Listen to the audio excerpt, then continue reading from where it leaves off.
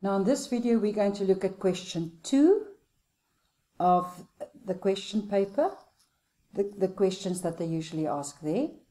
Write a note above each of the given notes to form the requested interval. Now the top note must belong to the bottom note. So when I look at that first example, B flat, I know that B flat major has a B flat and an E flat. So if I land on one of those, I know that I must add something. Now B flat must they want a perfect fourth, so I count B, C, D, E. Write your note first, write the E, but I know it's not going to be an E, it must be an E flat. So I must take in consideration all the accidentals of the bottom note. Now, C major's got nothing. So let's first find the six. C, D, E, F, G, A. So I write my A, but they don't want a white A. Now, you see what I want to have a more of a line there. Just be careful that it doesn't look like a B minor. So the white A, I must make one step smaller, smaller. So if I have a white note and I make it smaller, I make it a flat. So the A becomes an A flat. Now the next one is a D. D major has Father Charles.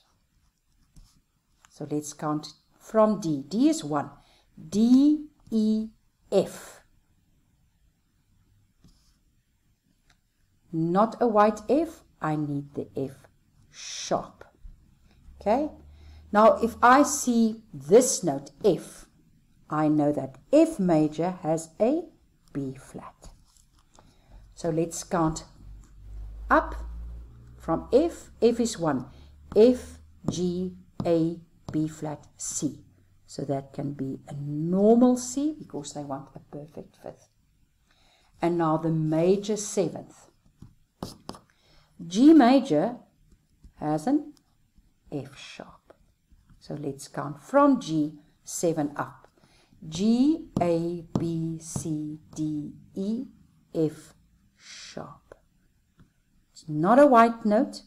G major's got an F sharp.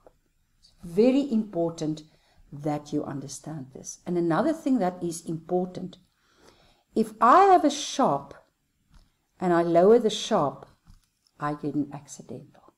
And if I have a white note, that is now the accidental, a white note, and I have to do um, um, make a minor of that one, it becomes a flat. Now let's work out some more.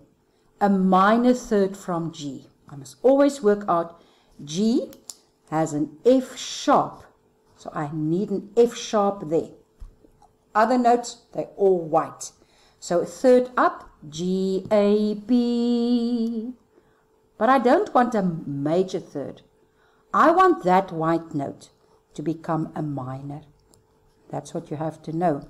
So a white note making that a minor, I add my flat. Now this is A, and we must have a seventh, major seventh. A, Father Charles goes. Okay, so let's count seven up. A, B, C, D, E, F, G. So it's quite high, the G there.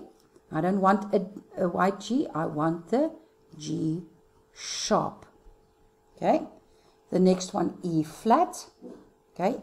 E flat has battle, ends, and it's important that you know your key signatures. So, five up, E, F, G, A, B. It's not just a B, I need the B flat. Okay. Now, a D and a perfect fourth of the D. D, father, Charles.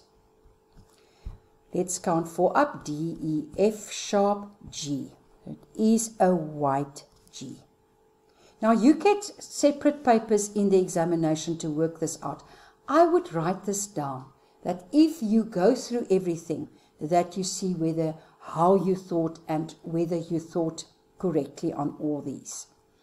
Now this is a D. We've done the D in the previous one as well. Okay, and we've done it there. D major's got Father Charles. So now a 6 D, E, F sharp, G, A, B. Now this is a major, but I don't want a major 6, I want a minor. So I must make this a flat. Okay, so this is very important that we know our key signatures and that you write it on that separate page, that you write everything down. Lots of students struggle with this um, adding key signatures to the following blocks, okay, and also writing the primary triads. So let's go through this. They say here, add key signatures to the following blocks according to the given primary triads. And they show you that 1, 4, and 5 will always be big in major, and in minor I will have a small 1 and a small 4. And here they give me the example. G major, because they say this bottom note is the fourth. G, A, B, C. So there I see C is the fourth of G major. Now this one, they say B is the first, the tonic of a minor. So you write your B minor, and I know B minor is related to D major. Okay, so I count my three half steps up. B to C, C to C sharp, C sharp to D. And then I do write my father, Charles. Now this is big, so this is a major. A flat, A flat major. So now I have to count down A, G, F, E flat. It can't be E because E does not have an A flat. It must be E flat. So if this is 4, I count on 4, 3, 2, 1. Then I know an E flat and I have battle ends at.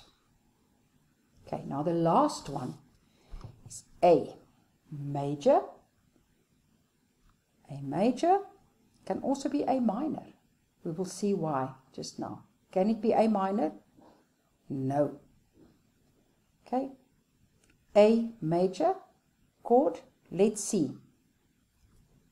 So A is 5. 5, 4, 3, 2, 1. A, G, F, E, D. So it's something with D. So let's see whether it can be D minor and D major. Now D major is Father Charles and D minor is related to F major. So it's got a B flat but I raise the seventh. So it can be both. It Can be both the D minor and it can be D major. Easiest one there to write is write your father Charles for the major. Now we have some other examples here as well. And you see, this is the one that we worked out last time. So this is the example they gave us. Now here, B flat is the tonic, so that's quite easy. I write B flat, big B flat, it's the major. And I have in the bass clef, battle ends. Now this is E major or E minor. Let's see why. No. E is the fifth. Okay, so it's not counting from that. So let's work out. E is the fifth. Five, four, three, two, one. So it's either a major or a minor. So let's work it out. E, D, C, B, A. So it's either a major or a minor. So let's see. A major will have Father Charles goes. So that can be the A major. And if I say it's A minor, it will have no key signatures, but it can be A minor because I raised the seventh. And the seventh of A is G sharp. So you can either leave it like that and write A minor, or you can write A major and have Father Charles goes. So you must always have a warning light going off when you see five. Always. Okay? Even with this one, it can be D minor. It can be D minor where you have a B flat that you add because I know the raised seventh of D is C sharp. You can also leave it quite uncomplicated. Now this, they show me they want a minor. So I have E. E is number 4. E, D, C, B. 4, 3, 2, 1. B minor. B minor is related to D major. So I have Father Charles. And remember that you have to write the key in front. Now here is the way that you had to write it for question 2.2. But here they say write the primary triads with key signature. So you have to, for D, write the key signature Father Charles, and then I start on my D note and I make a chord. I make my triad D, 1, 3, 5. I don't have to add anything there because I've got key signatures. Now E flat 4. E flat, write your key signature. Battle ends and. Okay. And 4. E, F, G, A. I start on A. 1, 3, 5. I don't have to add anything. But when I see a minor and I see 5, I have a warning light. I have the warning light. Because if I raised my seventh of E, E, F, G, A, B, C, D, D becomes a D sharp. It's very important. Now, E is related to G major. So I write my father, okay, my F sharp, and then on 5, E, F, G, A, B. B, D, F. And I must add my D sharp. This is very important. That is where lots of you lose mark. You lose marks there. Okay, when I see a minor and I see the dominant, I must remember that. So let's end this video with another example of the primary triads that I have to add. A major, Father, Charles, goes. And it starts on four. So I count A, B, C, D. I'm in the bass clef, D, F sharp, A. You don't have to write your F sharp there because it is part of my key signature. F sharp. F sharp, minor, is related to A major. And so it's the same as that one. So I write Father Charles goes. If you um, want to go through the video again with the major and minors, I've got a video on my channel. Go through that again. It's very important. There I see 5 again, so I've got a warning light. F sharp's raised seventh is E becomes an E sharp. It's very important. So on 5, F, G, A, B, C, C, E, G. I can't leave it like that. I need my E sharp. And then last, G minor, related to battle ends, B flat, E flat, because it's related to B flat, and I write G, B, D. So go through all the work here. If you don't understand something, go through the previous videos.